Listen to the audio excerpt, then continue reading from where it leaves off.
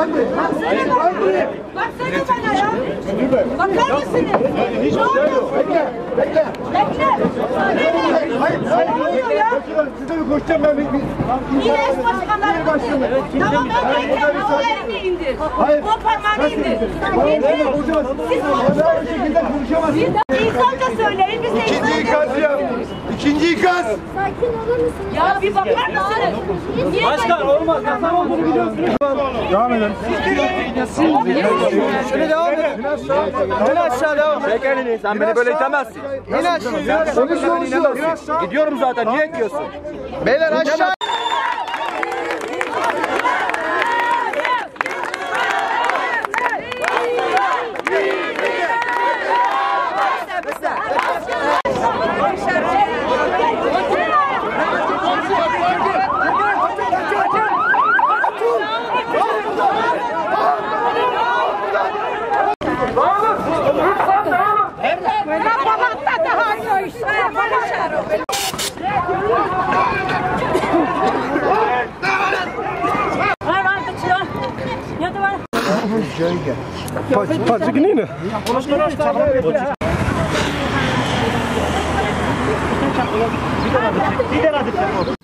Değerli Şırnak halkı, bugüne kadar bu ülkede ana dilimize yönelik soykırımcı politikalardan kaynaklı yaşanan bu düşmanca hukuka, düşmanca politikalarına yönelik her açıklamamızı, beyanımızı özellikle Kürtçe ifade ettik. Fakat bugün olağanüstü bir yaklaşım, olağanüstü bir öfke ve kinle karşı karşıya kaldık. O yüzden bütün Şırnak'taki güvenlik biriminin tek tek anlaması için bu açıklamamızı Türkçe ifade etmek istiyorum. Biz bugün partimiz HDP'ye yönelik kumpas Kobane dosyasına yönelik bir açıklama yapmak istedik. Ve bu anayasal temel hakkımız valilik tarafından yine gasp edildi. Evet, parti binamıza yönelik, partimize ve mücadelemize yönelik kumpaslar devam.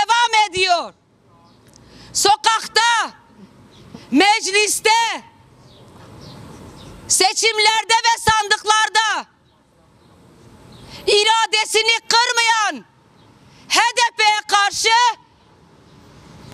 dünyanın hiçbir yerinde görülmeyen bir düşman hukukuyla karşı karşıyayız. Çok şey yaptılar. Çok bedel ödettiler. Partilerimize, yöneticilerimize halkımıza. Şu an milyonların iradesini tes- temsil eden eş başkanlarımız, milletvekillerimiz, halkımızın, kadınların öncüleri Türkiye cezaevlerinde rehin tutuluyor. Ve sözüm ona barbar IŞİD'in çetenin Kobane süreçlerindeki eyleme karşı halkların göstermiş olduğu dayanışma herkesin yüzlerce kurumun yaptığı HDP Genel Merkezimizin bir tweet üzerinden tam 7 yıl geçtikten sonra bir kumpas dosyası açıldı. İfade ettik. Kürt sorunu mahkeme koridorlarında çözülemez. Biz barış ve demokrasi için mücadele eden, burada binlerce bedel ödeyen bir parti geleneğiyiz. Her gün partimize, kadın mücadelemize, hareketimize yapılan bu saldırılar dün nasıl sonuç alınmadıysa bugün de alınmayacak. Daha dün akşam Batman'da barış, özgürlük ve kadın özgürlüğü mücadelesinde yıllarını veren 15 kadın arkadaşımız gözaltına alındı. Bu yöntem yöntem değildir. Bu sadece ülkeyi kaosa götürmektir. Bu karar tükenmiş bir politikanın uygulamasıdır. HDP'nin devraldığı onursal mirasa ve onun yöneticisine, seçilmişine hakaret edemez. Saygısızlık yapamaz. Bu cüreti kimse gösteremez. Ve bu baskılar daha çok bizi güçlendirecek, mücadelemizin büyümesi için daha çok bizi feyzlendirecektir. Bizi bu sokaklardan alamazsınız. Bu kent bizim. Bu sokaklar bizim. Ve yaşanan her can kaybının bedeli biz halklar bizler ödüyoruz.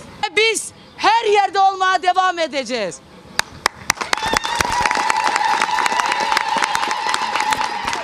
açılmış bir davadır. Kobane Kumpas davası DAEŞ çetelerine karşı Kürt halkının destansı direnişine tahammül edemeyen AKP MHP faşist iktidarının yargı eliyle Kürtlerden intikam alma davası ve aynı zamanda HDP'nin kapatılması için gerekçe haline getirilen operasyonlar zincirinin bir halkasıdır.